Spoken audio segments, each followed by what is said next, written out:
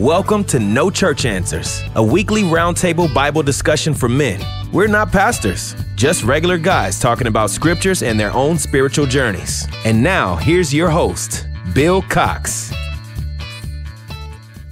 And welcome, everybody. My name is Bill Cox, and this is No Church Answers.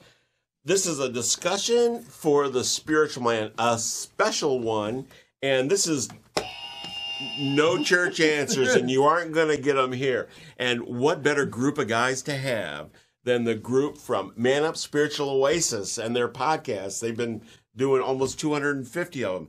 And at this point in time, I'm going to go ahead and introduce the panel, not only by what they do, but who they are.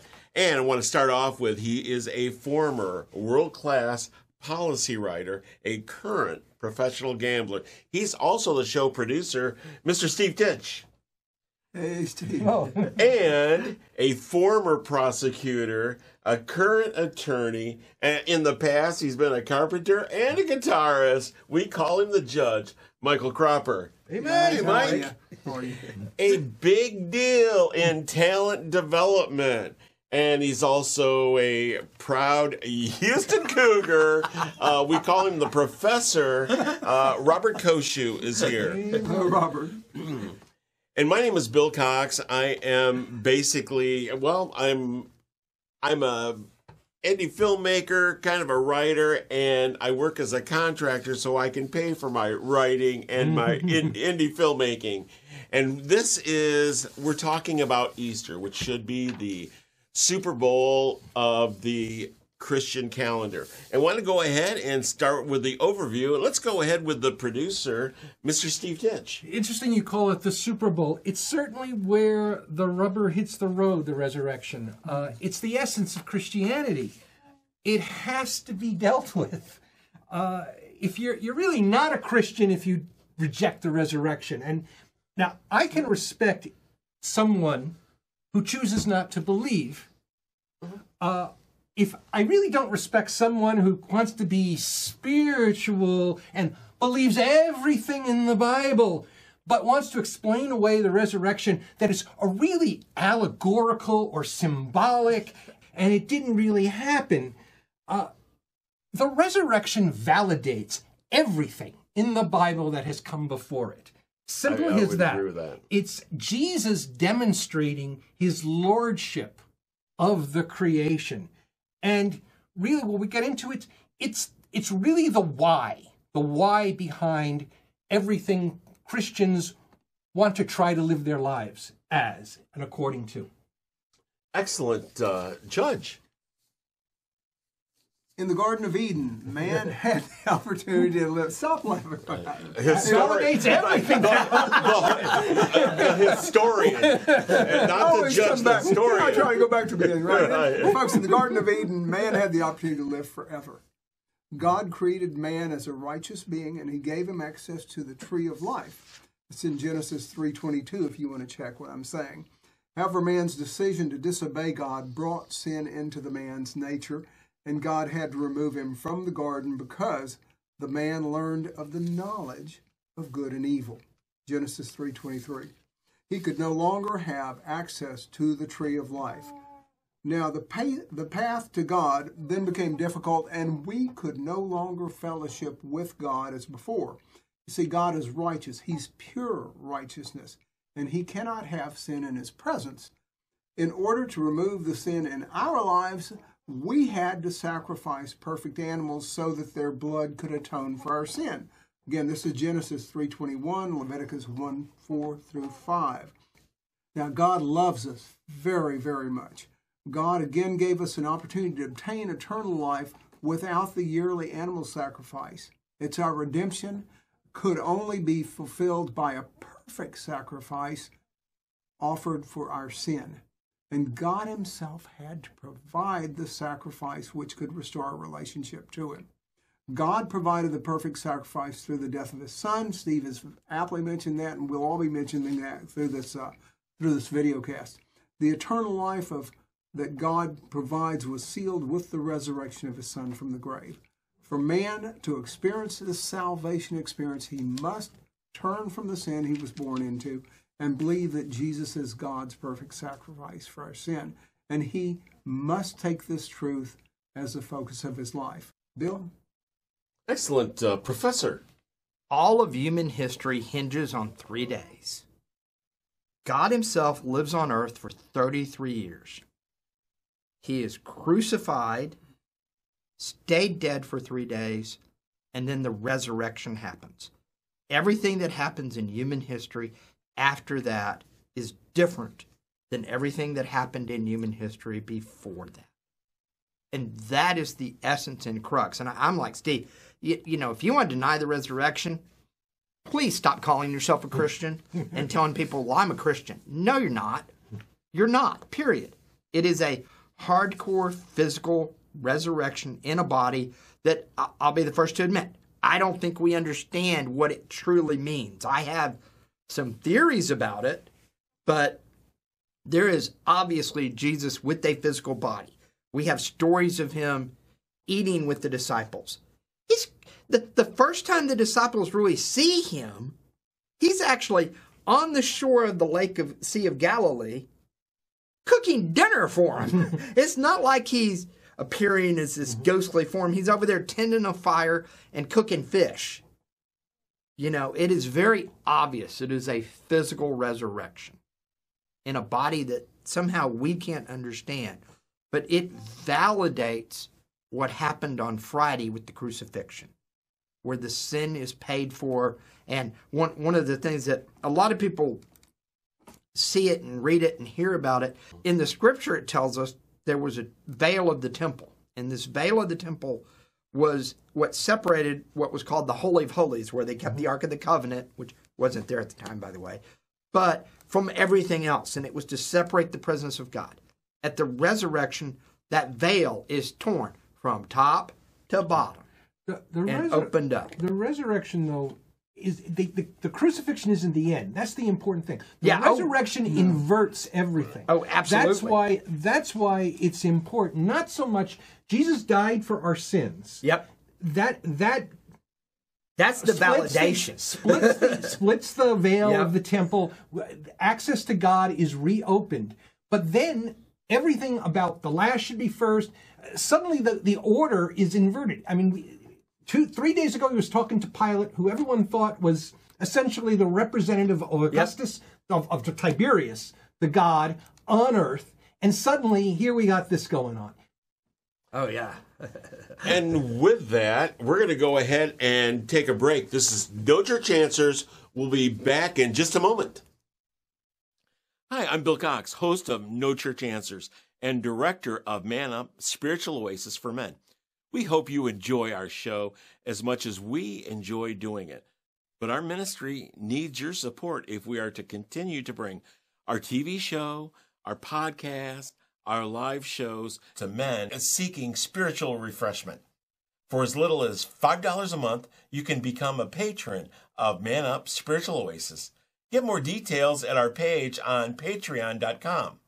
If you would like to support us directly, you can make a contribution through PayPal at donate at manupmedia.org.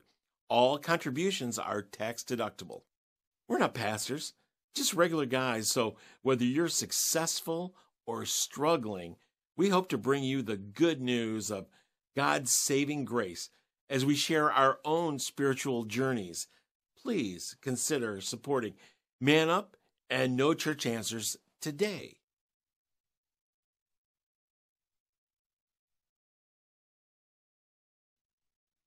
And welcome everybody. This is No Church Answers.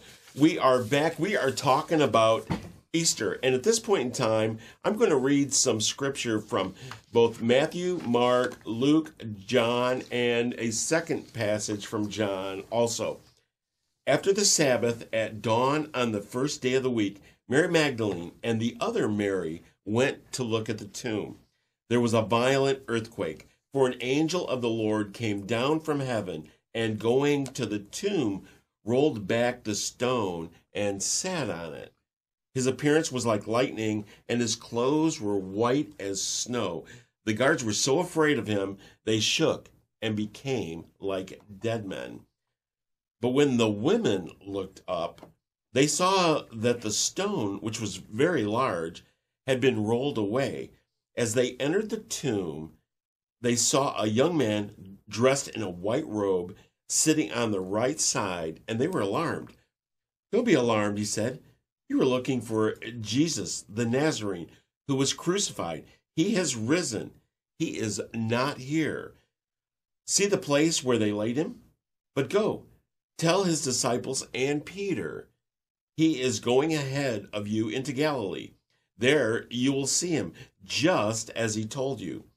When they came back from the tomb, they told all these things to the eleven and all to the others. It was Mary Magdalene, Joanna, Mary the mother of James, and the other with them who told this to the apostles.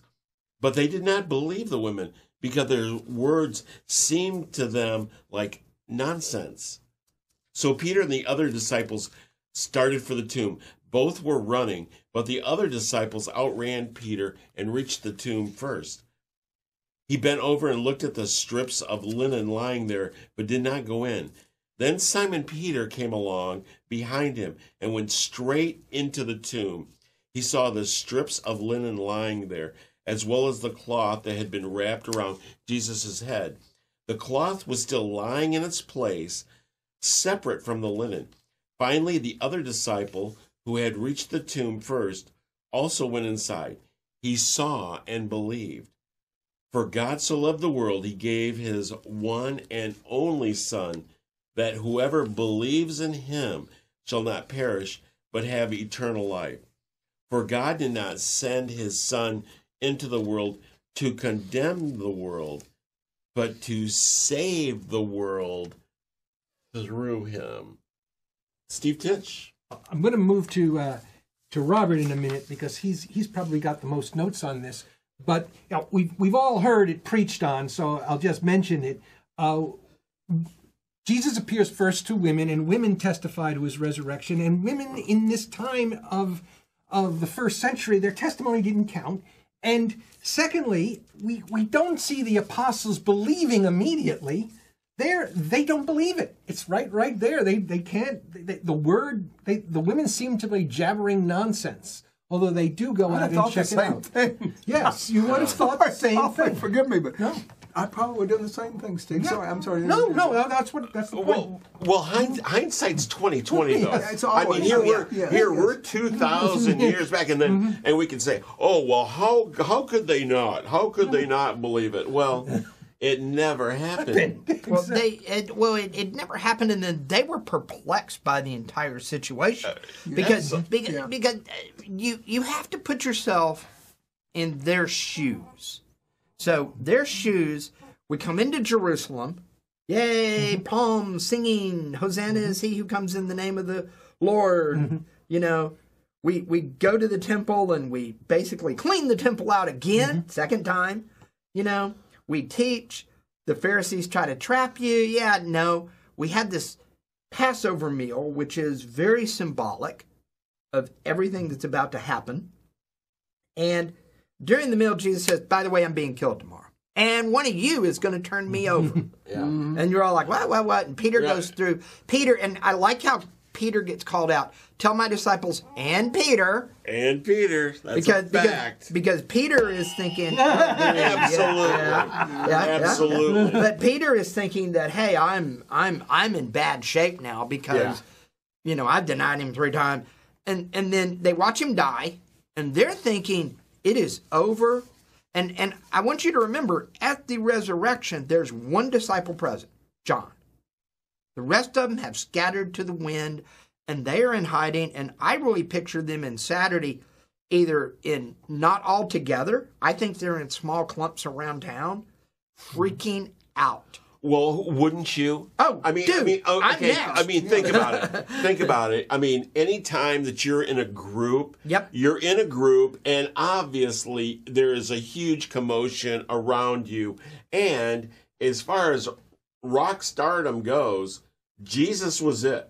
Oh, he- Okay, without a W- doubt. w- without a doubt, he gets publicly taken out, and you're one of his inner circle. I mean, are you going to just stand? You're, you're on. You're on most wanted. Well, right now. Oh yeah, yeah, yeah, yeah. You're you're on You're- most you know, wanted this is- That's a wrong fact. Yeah, I, I can't. I can't blame them for scattering. Not necessarily being a coward, but okay. Let's sit back. What exactly has happened here? Well, uh, I, I, I think they're completely bummed. I mean, the, well, Oh, yeah, but more than that, I, I yeah. exaggerate. This this was supposed to be the Messiah. This was supposed to be the absolutely. crowning moment. He's going to march in during the Passover phase, and and and, and let's you know let's see David reincarnated. Let's see the, the kingdom of God. Is all all this It's lore change, in the yeah. Old Testament that they're you know with Ezekiel bringing down the fire. This is this is it. This is the spectacle, and suddenly he's arrested and crucified with a bunch of with two criminals. I mean, the, the guy, the, the the the depression. Like it's like victory snatched from you know defeat Well, snatched and not from the that, but, Right. but remember, they all left their professions. Mm-hmm. Matthew was probably Yes. at mm-hmm. least in the upper middle class. Mm-hmm. Peter and James and John, everybody talks about them as these poor fishermen. Mm-hmm. They were small business owners. That's they were right, that's right, that's right. They with a it. family business. It wasn't one of those deals where they were, you know, oh, we're mm-hmm. poor and don't. No, they had the only, actually, probably the only poor members of mm-hmm. Jesus's inner circle were probably Jesus himself, mm-hmm. quite obviously, Right. the zealot one, and then Andrew, who had been following John for a while. Everybody else probably left a thriving, what we would consider profession, to mm-hmm. follow Jesus. So, okay, I gave up everything. I followed this guy. Three Oh, years. Oh, mm-hmm. three years. And Right. now mm-hmm. this has happened, and, I'm in trouble. the other aspect, they think I'm in the Roman aspect because they, but from a religious perspective, right, Jesus was. The, the, the, the Sanhedrin turned them over to the Romans, but he was convicted by the Sanhedrin of blasphemy. That is These correct. guys' status in their own religion, with their with with, with the found, you know, the, the the Sadducees and the Pharisees are claiming judgment that these guys now are not real Jews. They're apostates. They're blasphemers. So they're sitting, probably worrying about their own immortal souls at this point. right. Yeah, oh, let yeah, me, there. Let me say something real quick. Yeah. A, a little bit different. Uh, so how could they miss it? How could I miss it if I were back then? And then we come back to that, which saying the disciples were taught by Jesus, and they found him to be one extraordinary teacher. They followed him, just like you guys said. They memorized the information he taught, but they did not really understand everything. That goes without saying, right? Even Jesus knew they wouldn't understand it till after he was dead and rebirthed.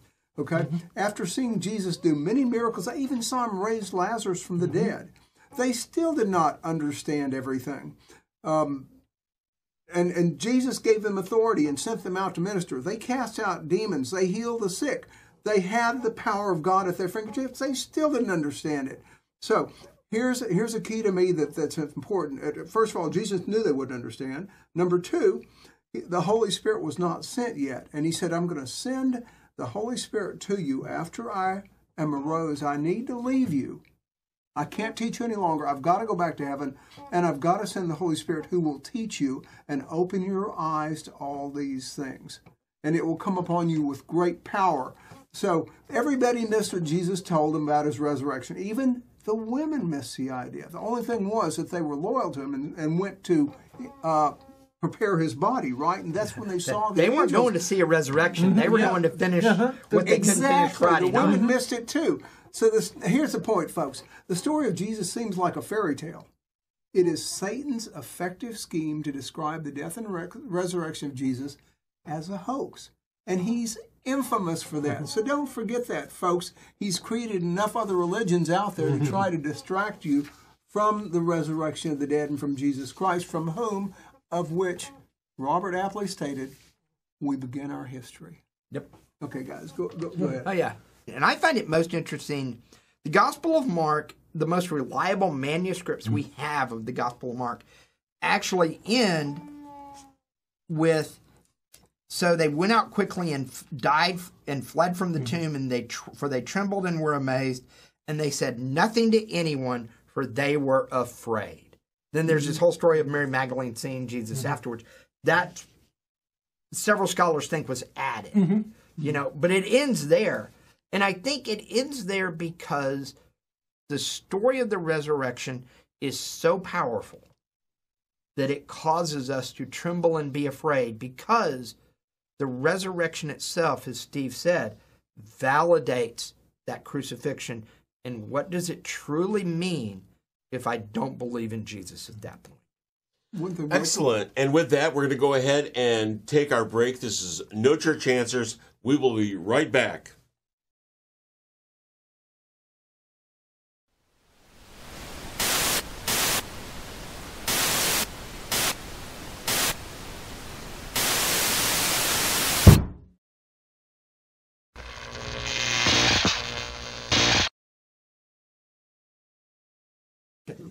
Real quick one. And welcome back. This is No Church Answers. We are talking about the resurrection and Judge. Yes. Um, the the last statement here on John 20, folks, John went into the tomb and he saw and believed. That just and and what did you guys just say? He was the one standing at the cross with Mary, Yep. Jesus' mother. He was the one that didn't run away either. Everybody ran away except John, and John was the first to say, "See mm-hmm. what the ladies professed to him and mm-hmm. witnessed to him, and he believed." And then the rest of them had to see Jesus Yep. in in mm-hmm. uh, Galilee, right, guys? Whatever happens in your own personal life, there is obviously the physical component of it. But then we need to look deeper into our own personal lives. There are spiritual implications of things that we do that were important to people and people that are important to us. And that's one of the big lessons I think that people miss with this uh, resurrection story. Not only is, yes, the resurrection story about Jesus, but in a way, it's about our own selves, our own lives, and how we apply it as well. I think it comes down to how do we live as Christians tr- truly in light of the fact that death isn't the end, that we live in a in a in a world where there are inexplicable things that have happened, that uh, a a book that tells us about God or a series of the Bible tells us about God. And remember this the God in the Bible is not generally is running counter to all of human society, the, even even the Jewish culture of the Old Testament. The prophets are constantly pushing back against this. It's it's countercultural. As much as you want to believe that the Bible fits in with oh, my life is going right along like it is, you probably can find it. But if you look a little deeper and you study it, you should at least be questioning the way sometimes you ch- the choices you make. And that that idea of the resurrection, like if you accept the resurrection as truth, you've got to accept the God of the Bible as true. And everything the God, God of the Bible stands is, is, is, as I've said before on this and in our podcast, it's inverted. The, it truly is the last shall be first. The the schmo at the bottom of the social cultural human pyramid is highly valued in God's eyes. And this this if we as Christians are really called to live in a world where death has been defeated and th- and and think about just on that and it's yes it does send shudder shudders down your spine death isn't the end uh, we may not know exactly what comes after but it's not the final word Excellent. And we're coming down to the end of No Church Answers. We'll just want to get some practical takeaways from the fellas and start with the professor. So it's really all about how what you do in light of the resurrection. How do we how do we for guys, hey, how do you act at work because of the resurrection? That's that's one of the key things I like because there's so many Christians out there that there's the Sunday Joe and the Monday Joe at work that is a totally different person. or Bill. Yeah, or Bill, or Bill. But but it really is. It's one of those things where True. you know Absolutely. how do you interact on a daily basis, and you do it because of the resurrection. It changed the world, and it's really a second beginning of history for mankind at that point. Excellent. Uh, judge, a takeaway. Yes. Um, so, as, what Robert mentioned, how do we as men live the resurrection in our daily lives, folks? And what is our takeaway? First of all, folks, we must realize that we were created. We are not an accident. We are not a cell that divided and divided and divided and di- divided billion trillion times and become had arms and eyes and everything like that. We must believe that God created us. Now, the, and, and when you believe that, then you have to believe that God created us for a purpose. And that's to serve Him, folks. And that means putting Him first in our lives. We, we men of no church answers, believe that Jesus is Lord, as you have known now. Uh, Jesus is the ever loving and ever caring, merciful side of God in the flesh. Jesus told his disciples that God sent him to die because of his great uh, love for mankind, John 3:16. Before he died, Jesus told the disciples they should love each other as Jesus loved them, John 13:34. He also stated that everyone will know that they are his disciples by their love for each other. So takeaways, folks, the Easter is about about upon us and we will celebrate again the death and the resurrection of Jesus Christ. We ask you to invite Jesus into your heart by simple prayer if you have not. And all you have to say are these simple words. You can say them with me if you wish to. Jesus, I'm a sinner and I have sinned. I ask you to forgive me of my sin and come into my heart. I repent of my sin. I turn my life over to you and I follow you. Folks, this is the foundation of our faith. Jesus came to earth to live a perfect life and to be the perfect sacrifice for sins. He was placed on a cross and died a horrible death, but as Steve said, Robert and Bill have said, he arose to fulfill God's promise to give us eternal life. Happy Easter. Oh, excellent. Uh, and producer Steve Titch. Very quickly, that's the gospel right there. Forget about the rules, forget about everything. Um, just understand that there was this great intervention in human history. And as as Christians, we we should be, you know, be very mindful of that. And if you're new to the faith or or or looking at the faith, that's what Mike what Mike said wraps it up very eloquently. Christ God entered the world, died for us, rose from the dead to seal everything. Yes. Yep. That's right. Excellent. And thanks so much for tuning in. This is No Church Answers. My name's Bill Cox. I'd really like to thank the guys. Remember the reason for the season. Happy Easter. You've been watching No Church Answers, a weekly roundtable Bible discussion for men, a production of Man Up Spiritual Oasis. Want more? Check out the Man Up Spiritual Oasis for Men podcast, available wherever you download your podcast. And to learn more about us and how to support our ministry, visit our website at www.man-upspiritualoasis.com.